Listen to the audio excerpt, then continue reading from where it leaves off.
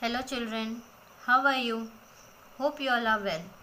Today we have met online after a long time and we will continue to meet online for some time. Now let's study English.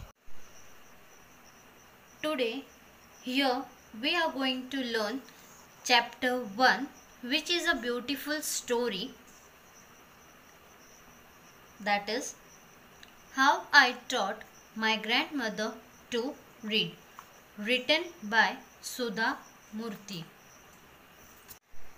Before we start with the story, there are few important instructions that you should follow.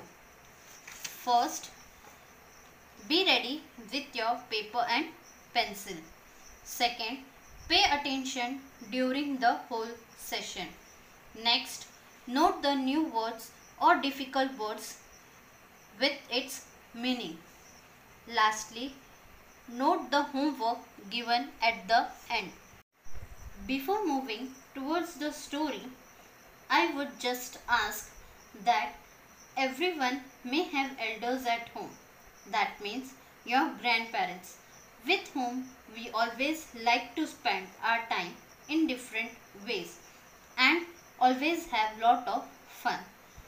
But just think, have your elders ever talked you about some difficulties in their life? Have you ever helped your grandparents in their difficulties? Today, here we are going to see how a granddaughter, Sudha Murthy, had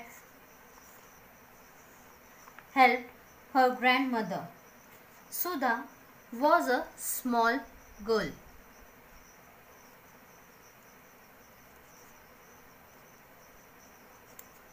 Her grandmother name was Krishtaka.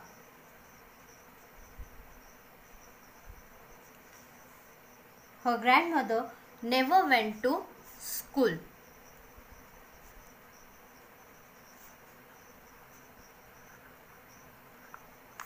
So she could not read. Every Wednesday they used to get magazine. Now what is magazine? It is a type of thin book that contains different stories, articles, advertisements, etc.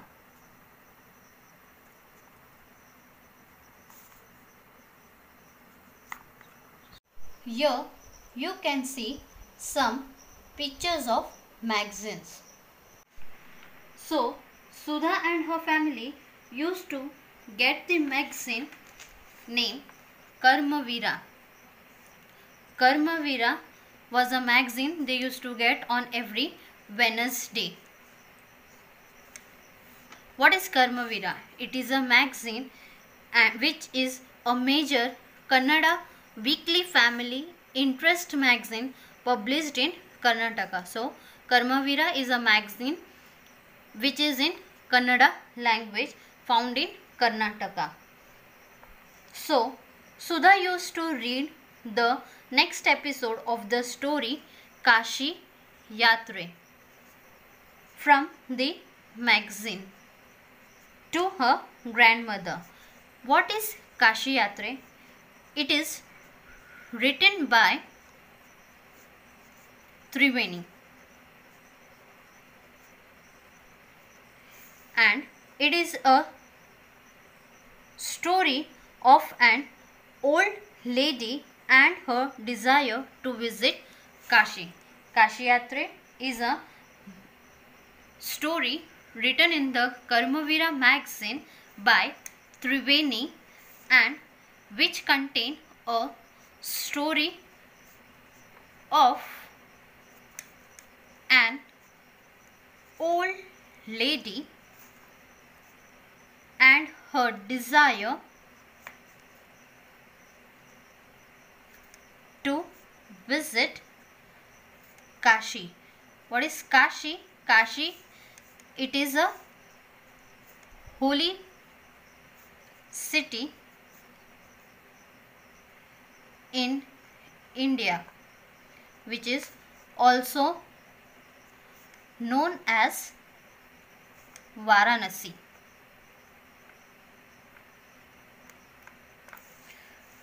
During that time, grandmother used to forget all her work and listen with the greatest concentration.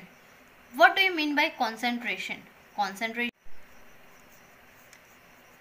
it means to focus on something.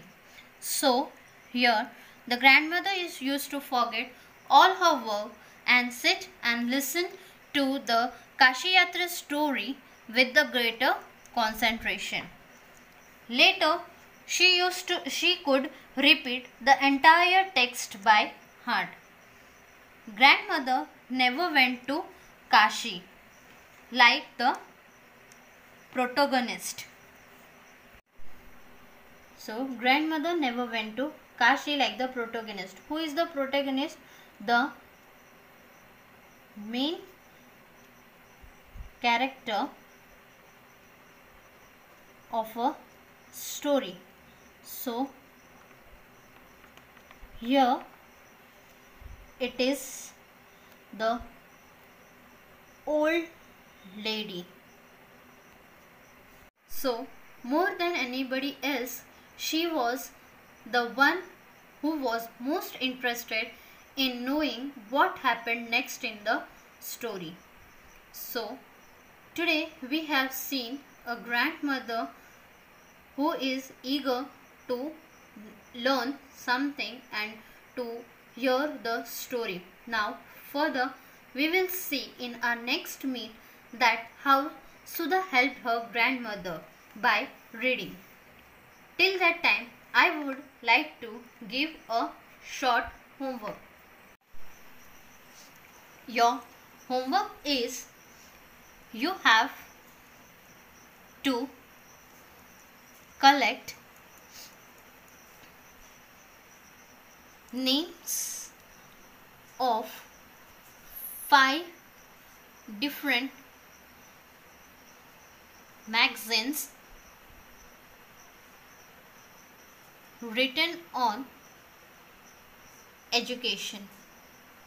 Thank you.